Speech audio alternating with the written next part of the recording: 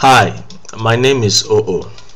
Um, I'll be showing you how you can use Google Mail to retrieve your work emails and um, send your work emails um, through the Google service. There are several reasons to do this. Um, first of all, unlimited um, capacity for email and um, secondly you can search through easily uh, you can integrate with other Google services like Google Calendar documents and much more. So to it straight click on settings. Go um, click on accounts and imports.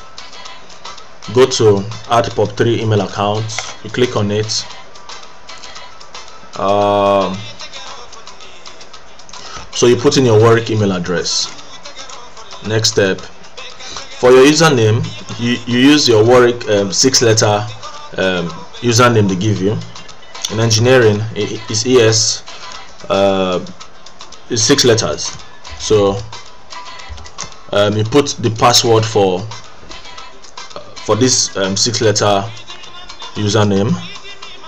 For the pop3 server name you use smail.warwick.ac.uk and the port is 995 um, you click on label incoming messages. The idea is for you to identify the messages uh, coming from that Warwick account. So you can label it Warwick. Um, after that you click add account.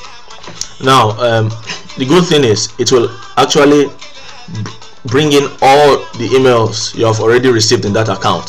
So don't bother about um, missing some emails you had before. It will bring in everything now um, to send email as you're sending from Warwick um, you type in the name and um, you want and you type in the email address.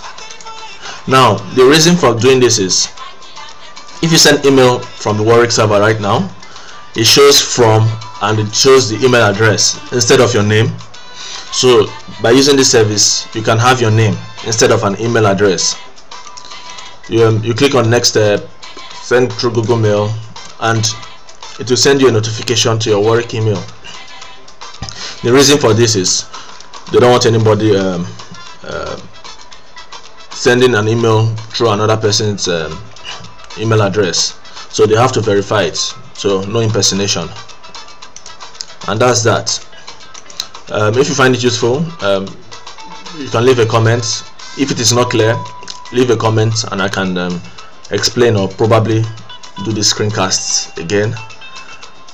Um, the music playing is that of um, Salif Keita and the name of the song is Tekere that's if you want to know.